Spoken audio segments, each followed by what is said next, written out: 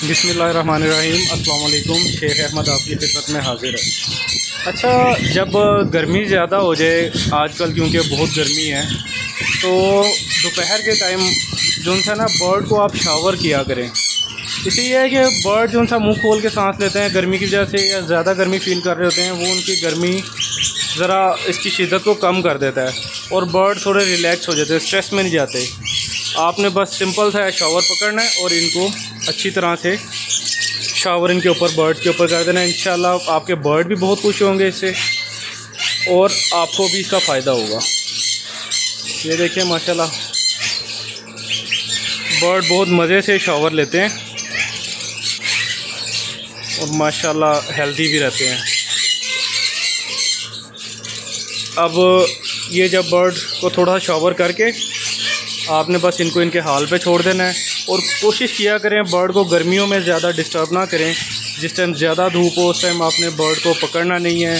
और ताकि वो थके ना डिहाइड्रेशन ना हो, सांस ना ले मुँह खोल खोल के। क्योंकि ये कोई अच्छी अलामत नहीं है। बर्ड का मुँह खोल के सांस लेना, ये मेरे ख्याल में बहुत ख़तरनाक भी हो सकता है। क्योंकि ऐसे में बर्ड किसी भी टाइम जो उनसे अटैक का शिकार हो जाता है हीट स्ट्रोक हो सकता है। तो गर्मियों में कोशिश करें बर्ड को डिस्टर्ब ना करें। शावर दे दिया करें थोड़ा। बेशक आप दिन में दो दफ़ा या तीन दफ़ा शावर दे सकते हैं बर्ड को। उससे आपके बर्ड जो हैं हेल्दी रहेंगे इन ये देखिए ना, जो भी मेरे पास बर्ड्स होंगे, मैं उनको थोड़ा बहुत शावर कर देता हूँ। क्योंकि आज टेम्परेचर 45 डिग्री तक गया हुआ है तो आज इनको शावर करना मेरे ख्याल में ज़रूरी है। ये देखें बर्ड थोड़ा सा गर्मी फील कर रहा था।